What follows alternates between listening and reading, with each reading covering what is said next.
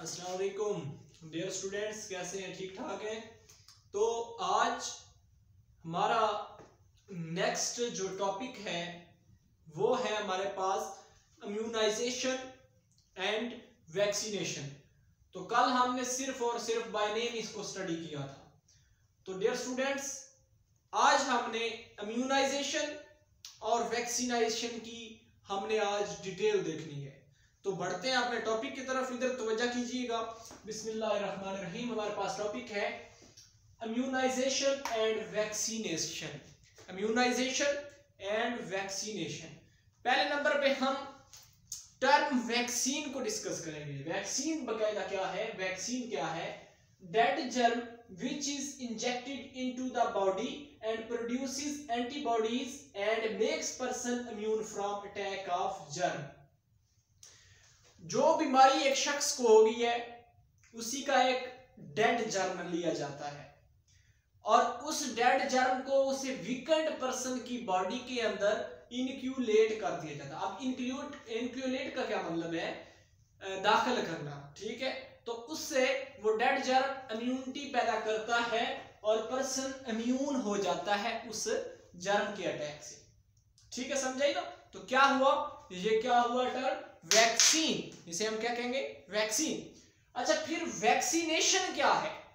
تو یہ آگے کمپلیکس ٹرم بن جاتی ہے vaccination procedure of development and inoculation of vaccine in the body is known as vaccination. کیا جی؟ دوبارہ سے procedure of یعنی کہ وہ میتھڈ یا طریقہ جس کے اندر ڈیولپ ہو جائے، پیدا ہو جائے، جسم کے اندر امیونٹی اور انکیولیٹ کرنا کسی ویکسین کو کسی کے انسان کے جاندار کے جسم کے اندر ویکسین کو داخل کرنا کیا کہلاتا ہے جی؟ امیو ویکسینیشن یعنی کہ پروسیس ہے ویکسین کا. کیا کہلاتا ہے؟ ویکسینیشن ڈیئر اسٹوڈنٹس نیکسٹ جو ٹرم ہے اسی سے ریلیٹڈ وہ ہے امیونائزیشن امیون سے پھر امیونائزیشن تو یہ بھی اسی طرح ویکسین سے ویکسینیشن امیون سے امیونائزیشن ویکسینیشن کے بعد immunisation development of immunity in the body as result of vaccination اب ویکسین سے ویکسینیشن یعنی کہ باڈی ہیلدی ہو گئی ہے. اب وہ پرسن اس، جو ہے جرم ہے اس کے اٹیک سے امیون ہو گیا ہے، اس کا امیون سسٹم سٹرونگ ہو گیا ہے. تو اب کیا ہوا جی؟ امیونائزیشن بلڈ ہوگی تو یہ پروسیس کیا کہلائے گا؟ ویکسین کے بعد والا امیونائزیشن تو اب ہم نے تھوڑی سی ڈیٹیل دیکھنی ہے کہ یہ کب سے یہ پروسیسز سٹارٹ ہوئے. تو ڈیئر اسٹوڈنٹس ہمارے پاس آگے جو نیکسٹ سٹیپ ہے وہ ہے role of Louis Pasteur Louis Pasteur ہی وہ بندہ تھا جس نے ویکسین کے اوپر ورک کیا اور ہمارے سامنے آج ڈیفرنٹ قسم کی ہر بیماری کے ریلیٹڈ ویکسین موجود ہے۔ تو ویکسین اس نے پہلی جو ویکسین تیار کی ویکسین اگینسٹ چکن کولرا اب یہ چکن کولرا کیا چیز ہے؟ مرغیوں کا ہیزہ ہے۔ چکن کولرا مرغیوں کا ہیزہ ہے، بیماری ہے۔ ٹھیک ہے؟ تو یہ اس نے کام شروع کیا ایٹین ایٹی میں، اٹھارہ سو اٹھاسی میں اور اس نے ٹرم اینٹی باڈی متعارف کرائی۔ اینٹی باڈی کیا ہے substance that protects host against infection to attack of virulent organism ٹھیک ہے تو مطلب وہی چیز ہے وائرولنٹ جرم ہے اس کے اٹیک سے باڈی کو بچانا یا انفیکشن سے اجتناب کرنا اینٹی باڈی کہلاتا ہے مطلب اس کے مخالف جو فوج بن جاتی ہے جسم کے اندر اچھا پھر اس نے سیکنڈ جو ویکسین تیار کرائی ویکسین اگینسٹ اینتھراکس اینتھراکس ہے پھیپھڑوں کی بیماری۔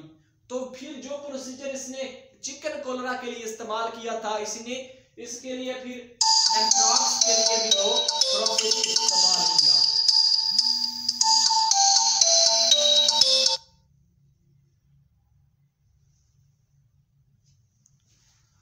تو یہ پروسیس اس نے پھر اینتھراکس کے لیے بھی استعمال کیا چکن کولرا کے لیے۔ چکن کولرا میں اس نے کیا کیا؟ جو اس کے جرم تھے، چکن کولرا جو بیماری کاز کر رہے ہیں، اس کے جو جرمز تھے، جو چکن کولرا کاز کر رہے تھے، اس کو اس نے کیا کیا؟ ڈینڈ کیا اور ان کو پھر انکلیٹ کیا۔ تو اس سے جو امیونٹی حاصل ہوئی مرغیوں کو تو اس نے یہ ثابت کر دیا کہ ڈیڈ جرم جو ہے ہیلپ فل ہے ڈیزیز کے خلاف۔ تو اسی طرح اس نے انتراکس میں بھی کیا۔ تو پھیپڑوں کے متعلق جو بیماری تھی، جو جرم تھا پھیپڑوں کی بیماری کو کاز کرتا تھا، اس کو اس نے ڈیڈ کیا اور بعد میں باڈی کے اندر انکیولیٹ کیا۔ تو نیکسٹ ہے point honouring of Edward Jenner. اس کے بعد جو ایک شخص تھے، ایڈورڈ جینر تھے، اس نے بوائے کو جو تھا، پس سیلز تھے، کہو کہ اس کے لیے اس نے ایک ویکسین تیار کروائی ایڈورڈ جینر نے اور ایک بچہ تھا اٹھارہ سال کا اس کے اندر اس نے انکولیٹ کرایا۔ تو جو لوئس پاسٹر صاحب تھے انہوں نے ان کو دال دی اس, اس کے ورک پر۔